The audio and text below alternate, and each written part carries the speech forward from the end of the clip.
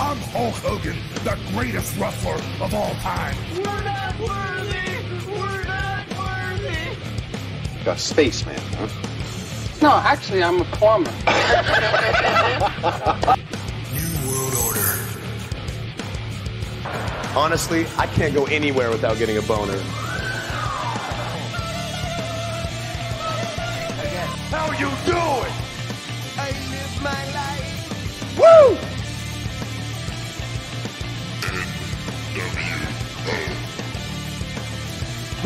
Sweet baby Jesus in the office. Hey, what's up, everyone? Welcome to WrestleRock Podcast Season 5. I'm your host, Nostrada Ben, and I host this episode with my partner, Johnny D. Hey, comment ça? How's it going, my friend, today? Yeah, fine, and you? Yes, I'm going super great. And you want, you know what? Uh, the color green. Yes, so we have another uh, wrestling guest. I'm talking about the former IWS Canadian Championship, the uh, former IWS Tag Team Championship two times, and also IWS World Heavyweight Championship for three times. Ladies and gentlemen, give it up for the Green Phantom. Hey, how you doing? Get with the green, baby. Fine. Yeah, we're going super great. Uh, thank you so much for um, participating on our show. Uh, we know that you are very busy, and we know that recently um, uh, you did a big trip uh, to Japan, and we will uh, talk about uh, that. So uh, go ahead with the first question, my friend. Okay, Mr. Phantom, you are a teacher by day and the Green Phantom by night. Can you explain to us how your students perceive you? They think I'm the coolest thing going, man. I mean, uh, what other teacher has a green beard? You know, they see me walk in the room. Uh, I, I have a lot of energy, a lot of charisma naturally. So uh, it just makes my job easier, honestly. Nice. And um, I know you since uh, many years, probably uh, 20 years, because I remember you were backstage with uh, good friends of you, uh, PCP, and Manny. And if my memory is good, the first time I met you, it was for the CCW. Uh, 2002, 2003. by uh, Kevin Martel and Sonny Warcloud. Sunny Warcloud. Yeah, Yes, it's sir. been it's been a while, my friend. So, uh, we would like uh, to hear you about what inspired you to become a professional wrestler. Man, K- K- Quand j'étais jeune, uh, when I was a little kid, uh, Yeah. you know, Hulk Hogan was the thing, you know, and uh, just seeing that that big character, you know, the the the, the just the, the, the larger than lifeness of wrestling. Mhm. I just uh, I fell in love with it right away. I, I can't tell you specifically what got me hooked on wrestling, just all of it. You know, I loved it, but I never but, but I never knew that I never saw that I, that I could be a, a wrestler. You know, like because I played football and rugby and No. hockey and, and whatnot, and I saw what you had to do to make the NHL or make the NFL or the CFL. Mhm. I, I never saw that for wrestling. There wasn't any Okay. schools, at least that I knew of, and stuff. So uh, I, I didn't get into wrestling physically until until I was about 23 years old. Wow. So I, I, I, I'm kind of a late bloomer. really? Okay, uh, you played uh, rugby in Verdun for the Montreal Irish. How many years have you, how many years have you been playing rugby, and how did you get uh, started uh, that discipline? well, I mean, I I just love uh, I love sports in general. You know, like Okay. I've I've been playing hockey my whole life. I've been playing football my whole life. And as you get older, uh, there's no place really, really, anyways, to, to play football, like contact football as you get older. But rugby, uh, you can. You can play into your. I mean, people think it's crazy when you're older people playing rugby because they just don't understand the game. There's a lot of respect that comes with it. And um, because of that respect and the culture around it, I was able to join rugby. And of course, I mean, it, it was destiny because I, I, a friend of mine is like, hey, uh, why don't you come play rugby? I'm like, what's your team name? They're like, oh, it's the Montreal Irish. So that's green already. And then I found out Rio, uh, their slogan is "Go Green." So I'm like, well, of course I got to join this team. You know, this is I was meant to be. And uh, and and as soon as I joined, we started winning championships. I'm not saying it's all because of me, but uh, I, have enjoyed tremendous success on the rugby team. Uh, the Montreal Irish is the premier uh, rugby club in in in Quebec, and uh, yeah, it's just it's just a, a, great thing. I'm still part of that club. You know? Uh, can you explain your fascination uh, for the wrestling mask and how uh, the Green Phantom became a part of your life? that's, that's, a long, that's a long answer. long story. Um, well, I'll, I'll, tell you this straight up. I, I, never picked the mask. I never picked green. It always picked me. Right. Uh, I, I always liked masked wrestlers as a, as a kid for sure. I, I always found it cool, you know. But mm-hmm. Uh, as far as the mask goes, I was uh, I was uh, I, I, I, had a girlfriend who bought me a, a green wrestling mask. I, I wasn't I, I, wasn't a wrestler yet, uh, but okay. I, I, I so I, I heard this radio show. They were talking about uh, this crazy wrestling show. You got to come see it. So of course I went to see it. It happened to be Halloween. So because it was Halloween, because it was Halloween, I, I, put the, the mask that my girlfriend got me. She got me okay. a green mask. She could have got me any any color ever uh, especially since at the time my favorite color was blue. But no, she got me a green mask. and, I, and, and, I went to the show and I loved it so much. I, I, I recognized Manny from when I was a kid. And right away, I started getting trained. The next wrestling show, people canceled. And they're like, oh, can you fill in? I'm like, I've only been training for a couple of months, but sure. What's my gimmick? Oh, here's a green mask that I wore, right? And uh, and, and, and even after, the Halloween show, when, when I was wearing that green mask, because uh, I was such a, a, big guy already, people thought that I might be part of that show. Uh, so much so that on a on a radio show the next night they were talking about the show and they're like, oh, "This guy, he, he looked like he was to be part of the show. Is the green mask guy going to be part in the future?" So I call up, being a shit disturber. I'm like, "Yeah, this guy's crazy. He's going to kill everyone. He's a ma- maniac." And they're like, "Well, what's his name?"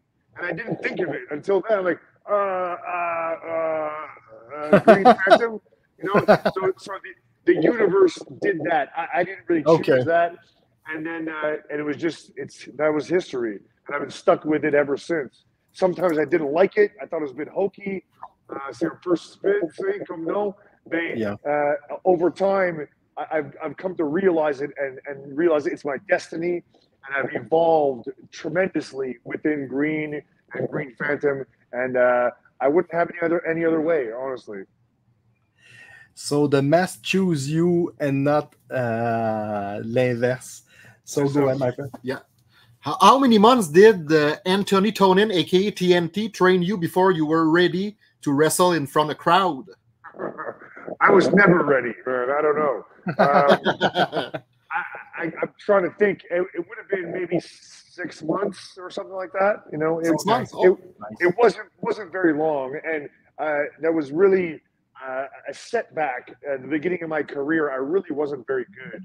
Um, so you know, I, I, I have a hard time watching myself early in my career. I really don't. I don't like my costume. I don't like the way I move. I don't like the way I I, I almost do anything.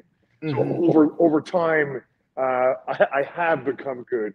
Like the Green Phantom that you see today uh, is very, very, very different from the Green Phantom of four, five yeah. years ago, 10 years ago, 15 years ago, 20 years ago, and so on. I, I'm a constantly evolving entity.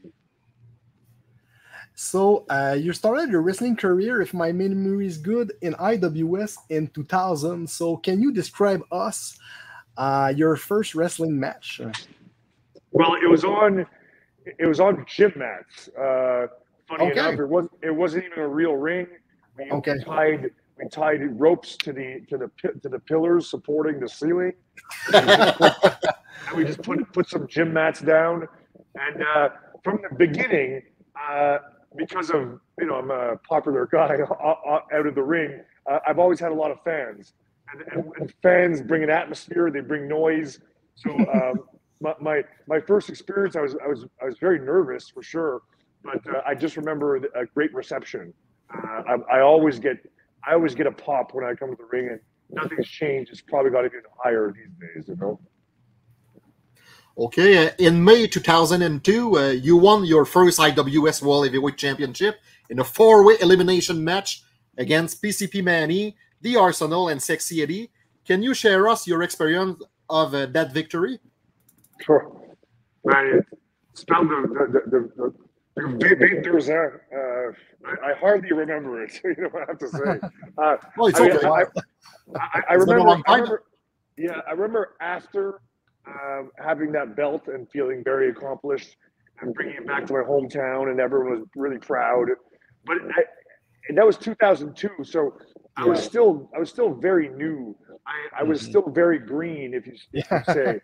And uh, I, I didn't. Um, it, it, it was it was fun for sure, but I, I don't I, I, I don't think I did the belt justice. Years later, I did, but at that first shot, not so much. Uh, among these opponents, I remember that you wrestled against uh, Sabu, Nick Gage, uh, Necro Butcher, and uh, Sheamus, if my memory is good. I'm not Yeah. sure, but which one do you think was the most uh, violent wrestler? The most violent wrestler. Hmm. Yeah. Um, I mean, persona wise, it's got to be Nick Gage, you know, for sure. Okay. Uh, but uh, but but actual in ring like violence on me, it would have been Mhm. Necro Butcher for sure. Necro Butcher. Necro Butcher. He he, uh, he doesn't hold his punches. He uh, everything you see there is very very real. Uh, he broke my nose. Really? Uh, he was, uh, it, it was- a tough match. Very you, you watch the match, it's super entertaining, but it's very physically demanding. Uh, it, it, it isn't a sustainable style of wrestling. Uh, in the sense that I couldn't do that every day. I'll do it once in a while because I'm a tough son of a bitch, but uh, you, you, you, you just can't do that often. I mean, I, I was in Japan with Necro, and that guy's Yeah. in rough shape, man. He, he's in he's in he's in bad shape. He, not in bad shape. He's in rough shape. But when, when he's not in the ring, you see the scars of his of his time taking crazy bumps and getting smacked in the head and whatnot. You know, um, I think uh, yeah, we're just different. Okay, uh, we don't remember, but have you ever had a WWE tryout or AEW tryout? Uh, yeah, I was in OVW back when OVW was NXT. You know, Oh, okay. my uh, my trainers, if you will, or tryout guys were Don, uh, Tom Pritchard, Danny Okay. Davis, and Jim Cornette at the time. Okay. Um, it, it was fun. It was a, a good learning experience, but I, I don't think at that time I really had a had a chance. Uh, it was uh, in the middle of the steroid era, if you will. Mhm. Oh, Yeah, yeah. yeah. You know, I I, was that. uh, Very. I was with uh, like like wi- within my class there was like Chris Masters, you know, Mm. guys like that, Okay. and like who were um, who were not very uh, like like for me anyways. I, I up until that point I never I never did steroids or anything like that. So I, I came into the camp and real and I, I soon realized that my body type wasn't what they were looking for at all. Um, and, and, and Jim Cornette told me uh, he's like, you know, you have a great character, great charisma. You could you could easily be a manager, uh, but these days all managers have big fake tits. Mhm. Because that was the, the, era of you know Marlena Yeah, the attitude era Uh, was very different. than- So he's, he's like, "I- i- if you want to make it, you have to put on a bunch of unnatural masks. And uh, and I, I won't name names, but going back to my hotel room, uh, seeing for their tryout, a couple of dudes uh, inject pig fat into their muscles. Literally, they take the pork chop and the needle, take the pig fat out, inject it into their muscles, so their muscles have an allergic reaction. They swell up and get all crazy. And then I, I realized, like, you know, I, I just I'm not I'm not ready to take that these steps yet. I, I'm not not ready for this step.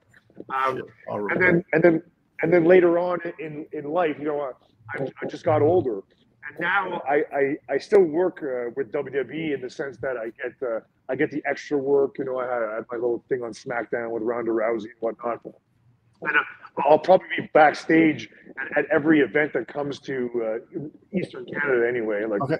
Montreal, Ottawa, Quebec City, or or Toronto. Uh, but as far as wrestling for them, uh, I think that's that, that has passed me by. But I, you know what? I, it, was, it never really was a, a goal of mine because I, I just thought of it so out there. Uh, when I joined this wrestling thing, I just a my pants. I didn't really have a plan, uh, and it's absolutely amazing to me uh, to where I've where I've been and where wrestling has taken me up until this point. It just it boggles my mind. Um, recently, you made an important trip to uh, Japan and uh, wrestled for the uh, Big Japan Wrestling with Necro Butcher, uh, Alf member of uh, Insane Clown Posse. I'm talking about Violent J and many others. So, can you tell us about your experience and how uh, you came to be recruited by the BJW? Uh, so I came to be recruited by them. One, I've been doing this for a long time, but more specifically, okay. I wrestled in uh, XPW. Um, okay. And uh, and I wrestled this guy Shadow WX. He's a, a Japanese uh, hardcore legend, and okay. Uh, we had a good match. I made him look like a million bucks. He was super happy. And uh, the next morning at breakfast, we shared the same hotel. the next morning at breakfast, he asked me if I was interested in coming to Japan, and I said no. No, of course I said yes. I, I was, I was very, very, I was very, very interested in going to Japan. It was always a dream come true. Mm-hmm. Um, and so he he hooked me up with somebody and talking with Madman Pondo, and okay. uh, the rest is history. I, I, got a work visa in the mail. I had to do some uh, paperwork, and uh, before you knew it, I was there. And it was uh, it was a dream come true. Um, it's something that if, if you're going to consider yourself a pro wrestler, you have to wrestle in Japan, and more than that, you have to wrestle at Korakuen Hall. Uh, and both of those I did at the end of 2023, uh, which was just fantastic. Uh, coming out in Korakuen Hall, uh, I, I, the electricity it, it, was it was full, and yeah. Uh, the electricity I felt, I was just so I was so happy. I was so elated. I'm like, I finally made it. You know, it was, it was amazing. And for my first match, the weirdest thing. So a bunch of years ago, about 10 years ago, I was I was supposed to wrestle Necro Butcher in in, in, in Chicago. Okay. And my I was in the car with Eddie. We had a car accident. We couldn't make it. I, I never wrestled Necro Butcher since. About about two years ago, I was I was go, going to Chicago. I was on my way to wrestle uh, Satu Jin, and then the next okay. day I was going to wrestle Akira. Okay. Uh, I got stopped at the border. They didn't let me in. I couldn't wrestle those. So, so there's oh, three no. guys. So there's three guys from uh, that I was supposed to wrestle in Chicago: mm-hmm. Akira, Satujin, and Necro Butcher. Necro Butcher. I get to Japan. My first night, my tag team partners: Akira, Satujin, Necro Butcher. That's fucking. I don't weird, understand. But, oh, weird. The, the, way the universe worked. Uh, it just it kind of told me that I was, I was really supposed to be there, and it was, it was very meant to be. And Japan, um, Japan loved me. Like I, I came in there like Godzilla, you know. Yeah, bigger yeah. than everyone else. yeah. of course. I, am I'm, I'm louder than everyone else. I, I have a facial hair no one has, and uh, I, I just got really over with the Japanese. I, I, sold all my merch. I made tons of money. They treated me like a star. Uh, it, it's it, it. I was in tears sometimes at how how well they were treating me. Uh, just because sometimes especially here in Quebec, I, I, I the French media, I, I don't get the, the, the props. You know, like mm-hmm. I'll, I'll never I'll never make a top ten list, but but superstars in other countries and tons of fans around the world tell me different. You know, I, yeah. I go. It's it sucks that I have to go somewhere else to, to get the appreciation. It, it's very validating, and it, and it, tells me that critics here in Quebec just don't know shit and don't mm. matter. Yeah, really, really. And uh, go ahead. Okay, yeah. For for our pre-closing segment, we'll give you a name and a few words. Tell us something about them. Uh, the first uh, the first one uh, is uh, PCP Manny. Uh, my oldest friend in wrestling. Uh, I because he started the IWS, uh, he started Green Phantom. Mick Foley. Mick Foley, uh, great dude, man. Um, it was one of my highlights of my life uh, going on a date with him. I brought him to the Muppets uh, when we came to I came to Montreal, and we still talk here and there. Um, and w- whenever he comes to Montreal, I, I open up for him uh, for the comedy scene, and he's just a fantastic dude. Atsushi Onita. Onita, uh, an inspiration. uh, the first time I saw those exploding ring matches, I knew that I, I was going to do that. And uh, what do you know? In, in, in my hometown back in 2000 and I don't know two or something, uh, me and Manny had an exploding ring match, and it was uh, it was amazing. And the last one, Green Phantom, yourself. uh, the hardcore hero, the Canadian cable breaker, uh, beating all the odds. I don't know how I'm still going. You know, uh, it's just been uh, quite a ride getting with the green every day, every single way, baby. You know? uh, thank you for your uh, 20 uh, minutes, uh, your generous 20 minutes. Uh, and as usual, for closing our episode, Nostradaben, it's all about the French prophet. Try to predict the future of our guests. Let's go. Okay, uh, first of all, uh, uh, thank you so much, uh, Mr. Green Phantom. It was a very Plaisir, plaisir. Plaisir. Je- J'ai comme surpris que, que cette entrevue est, est- est en, est en anglais puis pas en français. Oh, peu importe. On n'aurait pas à faire en français, mais on sait que l'anglais, c'est ta langue maternelle. Fait que... Mais merci. Ah, no problem. Okay, nothing personal, but I predict to you that uh, you're gonna lose your mask in a in a career versus mask match. Eventually. Who, who, who, who- like career is that going to be?